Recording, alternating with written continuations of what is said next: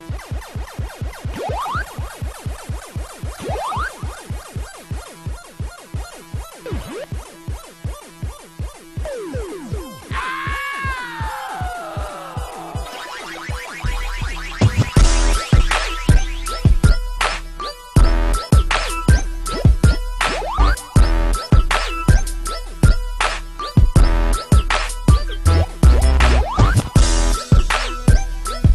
Welcome back to another episode of Gamer Zero, where we spread that gaming truth like a virus. I'm your host T Hill. So you've seen the title. This is my uh, Mass Effect 2 review. Is it really that good? Is- that the question I've got? Is it really that good for you guys? You feel that? Wow, it was a stellar title. So before I get into that, I'm gonna do the VG charts numbers. I didn't get a chance to do it the other day because I really wanted to mull over my review. So, going with the week weekly numbers for April 9th, we've got the 3DS in the lead with 248,000. It's a little um, surprising considering it dropped like 700,000 units in a week. So, it's tapering off pretty fast. The PS3 falling with 138,000. The Wii with 115,000. Um, the 360 with 115,000 A couple hundred units difference that it's not too dramatic. Uh, the DS with 112,000 and the PSP with 77,000. So those are your numbers for the week of the 9th. Let's look at the total. Not much change here if you look at the grand scheme of things. The Wii with 86.4 million, the 360 with 53 million, the PS3 with 49.3 million, the DS for the portables is sitting at 146.9 million and the PSP at 67.1. So just have to give a shout out to Brett over at VG Charts for letting me do this segment. I really appreciate it. So let's get into the Mass Effect 2 review. Um, I wanted to take my time with this review because there's so much to this game and it is a long game. There's lots of content to it. I own all the DLC. Uh, because I wanted to really get the full experience. And so let's just jump right in. The story. Uh, it takes off right after Mass Effect uh, 1, which hopefully you guys have played the game so that way you can follow along. You don't really need to because it, there's a interactive comic that starts it off. Um, but just to start off with where 2 starts off, um, the Normandy gets blown up by this alien ship. Uh, Shepard gets destroyed. Uh, the Cerberus, this militant human group, brings them back to life and says, "We need you to help save us from these this race called the Collectors, which were in the first the first one. Them and the Reapers. Uh, the Reapers are these big alien um, ships, spaceships that live way out in space, and they come back every several thousands of years to pretty much harvest the reap the world, reap the universe. Um, so that sets up the precedence. You have to go on this long, engrossing story to figure out what their objective is, um, stop them if possible. Uh, the collectors are going around and snatching up human colonies. Uh, there's there's a big plot about a connection with uh, the collectors and what who they came from. I don't want to ruin too much of the story, but mainly the big focus is trying to uncover this big like mystery of who the collectors are, who are the reapers, what's going on, what is their plans, and you are set out on this mission to do it. And the, some of the ways you achieve this goal is by recruiting different people for your crew. Um, some old familiar faces from part one, some new characters. Um, you get to really explore each character through like back plot. Um, come on, Cap, no. Uh, by like doing their loyalty missions, which is really all about learning who the characters are, what makes them functions. Because you have to you have to get their loyalty, their trust. Because if not, they're not going to help you when shit hits the fan.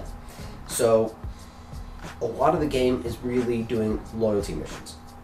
And this is where this is a critical part of the game because BioWare really tried to sell this game as an immersive game where you get attached to all the characters and you really it humanizes these alien characters to a point where you feel like you can empathize and sympathize with their uh, experience. Problem is, a lot of those characters kind of fall flat. There are only a handful that really, really, really stand out with great personality types. Um, uh, I'd say uh, Mordin Solus was a really, really, really strong character. Um, Thane's pretty good. Um, Uh, Miranda has a really good story in and of her, in and of herself. Um, there's another one. Uh, Samara, the Gestacator, she's got a good one, but a lot of them are just kind of flat. Um, you may like their character designs, some of their like the the concepts, but they just feel really like unrelatable um, with the way they're developed and their personality types. Even if you find their motivations, it still falls really really flat. Like not convincing Jack was just a jerk. She's a jerk. Um, and I understand where she's coming from, but it doesn't make me like her or respect her anymore. Um, and even if you try to unravel who she is and humanize her, make her more relatable, uh, it really doesn't. And maybe that's just it speaking to me. So there, there's that part. The story also is broken by game by certain experiences in the game. Every environment set piece doesn't lend to this large scale story that's supposed to be uh, happening in this world. You're supposed to be in this huge universe, and a lot of the characters are just kind of props. Like as you're wandering around this world, you can't interact with everybody, um, so they feel like just kind of like a, they might as well be a, a plant because they they don't really do anything. A lot of them are just stand there, um, and they have like conversations with no one, but you can't hear what they're saying. You can't talk to them, so they just put them in there for fluff. and doesn't help the story, doesn't help the immersion experience with the story. Um, so I mean, that's just one thing, and it's it wasn't so bad for a story, but it doesn't really sell the immersive universe that's there. Um, as far as like the locales and places you can go to, each one of them is so well crafted and so woven into the story while you're there. That is, I mean, there's so much plot that's in this game, so much text and uh, like decisions you get to make. Some are big in impact and some are small in impact, um, and you won't be able to see the the full reactions of them until part three comes out, which is indicative of this uh, series. But a lot of them kind of feel like throwaways, and you can also repeat the same stuff over and over again. And it's not like they really, at least they don't feel like they have weight until you make one of their key decisions. Ask a key question or react a certain way. Uh, other than that, you can keep rinse and repeating. Uh, there's no sense of urgency answering the questions for the most part. There are some times where you gotta press certain button prompts um, that keep the story more engaged, which takes you down more of a, either a moral path or more of a renegade path. And they call it Paragon versus uh, Renegade. But it takes you down more of like a rebel versus a law-abiding person. All these things are good and dandy, but like I said, there's breaks in this immersive experience which I really had to think about and note before I give this review. So we'll move on to graphics. The art direction is great. Uh, the style with every character, the aliens, the worlds look believable in concept um, and what they're trying to sell. Uh, the character designs are really fleshed out, but the graphics and the way they're presented some of the character models look god awful. I, I, mean, atrocious. I I can't believe that that's in uh, this generation of gaming. Some of those character models are horrific at best. Um, some of the textures are horrific. I sent a picture to my buddy of when you're in the hammerhead and the texture on the ground, and I know you're not supposed to nitpick, uh, looked worse than PlayStation 1 era and that's I'm not joking. I've got the, the picture on my phone. It was horrible, horrible. And I I remember hearing people say this game Uncharted caliber. No, never in Uncharted was there ever graphics like that ever. Uh, texture popping, um, frame dips. No, I didn't notice any frame breaks. Um, but I mean, just horrible textures. Some character models are absolutely god awful.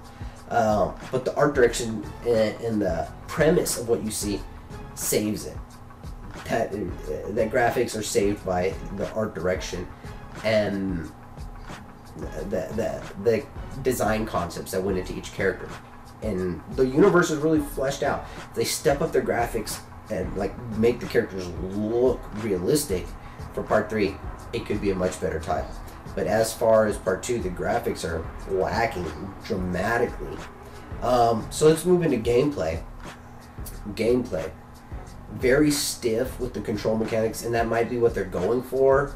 Um, but for this day and age with shooters, and especially third-person shooters, after having you know played a game like Uncharted, and yes, they're very different titles, but the fluidity of motion is feels very robotic, very stiff, very uh, mechanical, and like routine, and it's it's lacking. It's very lacking. That being said, the gameplay has its depth to some extent. It's it's always a shooter in its core. You can command your guys to do other things, go run over and defend certain points. Um, you can use them to use their special attacks. You can upgrade their attacks. Um, there's a leveling system, but it's so passive and in the background. Um, the whole RPG element is so kind of not really in your face. Uh, even when you upgrade your abilities to the max, they really don't have much more of a visceral impact to them. It's usually like more stat damage or longer lasting effect on somebody, but it really doesn't show the impact other than you do more damage, so enemies go down faster.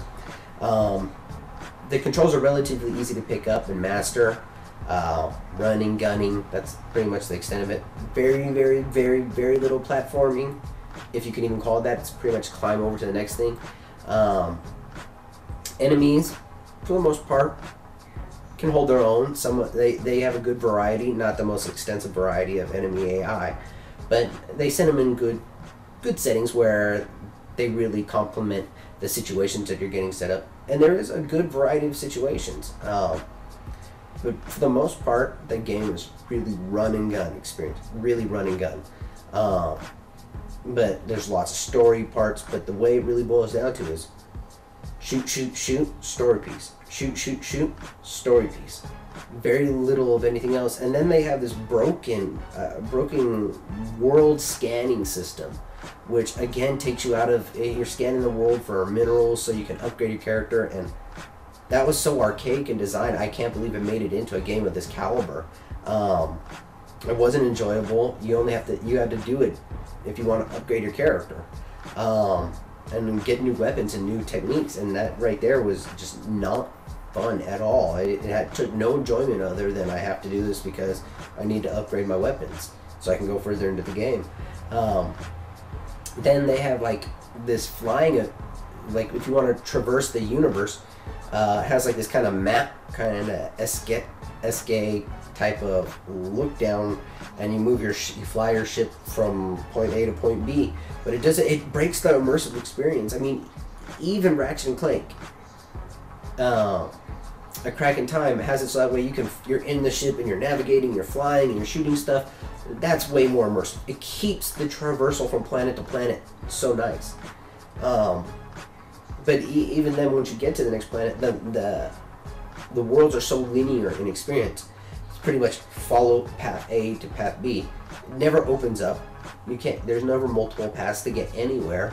Um, it just it, it felt so cramped. It, the the mechanics didn't lend itself. I mean, they lent itself to a corridor type of shooting, which is a good portion of what the Mass Effect gameplay is like. So uh, there's so much stuff to take away from it that it is uh, just a standard shooter in at its core.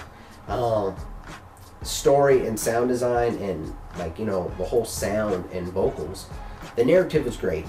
Um, I really liked all the characters' voices, their personalities. They shows through. Um, some of the talk, the way they talk to each other is really funny. Uh, especially like Seth Green as Joker. I liked him. I really liked uh, the voice actor for uh, Garrus.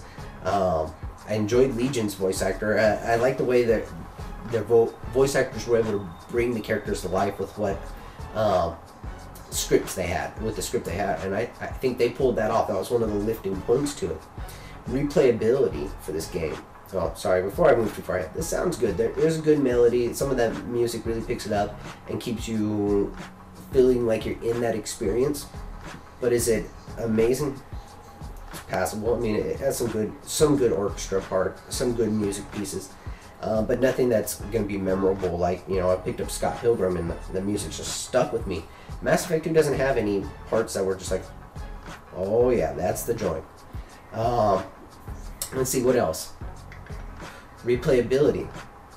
This is the thing that you like. There's a lot of content in this game.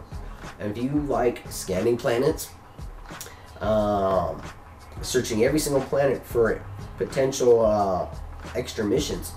Uh, there's that. There's tons of narrative. There's tons of extra content you can play. You will get a good 30, 40, maybe 50 hours of it, and then you can do a new game plus and import most of your character aspects to uh, a beginning, a new game, and then play through it again. There's another difficulty setting. There's trophy support. So it's got some good replayability. So if I have to give her a score for this, and this is what took me the most, the longest time, I was torn between a three and a four out of five badasses. And then I, I had to be honest with myself. Eh, There's so many flaws with the, the, the breaks in the immersion, the very stiff gameplay mechanics, the flat characters, uh, uh, the very routine rinse and repeat experiences that I, I couldn't give this game, in all honesty, above a three out of five. Uh, it just has too many things wrong. And it has a lot of merits to it. This is a good game, but there's some fundamental things that are broken and wrong that need to be fixed um, to really warrant a four or a five. It, it just has some flaws. Now, if you like those rinse and repeat scenarios, you would probably give this a four out of five. Um, but it is, uh, in my personal opinion, with what the issues are and the pluses, weighing out the pros and cons, it's it's a three out of five badasses. Um, let me know what you guys think. Leave your comments below. Shoot me a message. Well, preferably leave your comments on my YouTube page. I read those a lot more often than anything else. So as always, you can follow me on hiphopgamershow.com. On Twitter, it's T underscore Hill Zero. Or if you want to game with me online, it's T dash Hill. All right, I'm out. Peace.